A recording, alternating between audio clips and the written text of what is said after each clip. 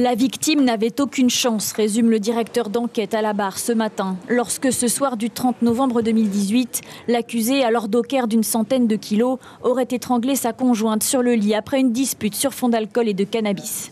Il aurait serré pendant 10 à 15 minutes selon lui, l'aurait embrassé et appelé les gendarmes. Ce matin, il présente ses excuses aux six enfants de la victime, nés de précédentes unions. Les plus grands assistent au procès. Puisqu'on espère que, à l'issue de ce jugement, que ça soit une issue exemplaire hein, par rapport à toutes les violences faites aux femmes. Hein.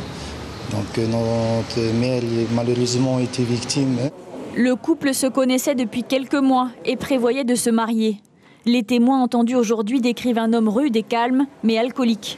L'accusé reconnaît les faits, mais assure ne pas avoir voulu la tuer. C'est un dossier assez dramatique, hein. c'est l'histoire de quelqu'un, euh, tout ce qu'il y a de plus normal, qui, euh, qui, a perdu le contrôle de sa vie l'espace de peut-être 5-10 minutes, et, ce, qui a, ce, qui a, suffi malheureusement à entraîner ces faits, mais on n'est pas sur quelqu'un, et je crois que l'instruction du dossier est en train de le montrer, on n'est pas sur quelqu'un qui a un passif de violence. L'accusé encourt la réclusion criminelle à perpétuité pour avoir tué sa compagne. Le verdict est attendu demain. L'information en continue sur Polynésie la première, Internet et réseaux sociaux.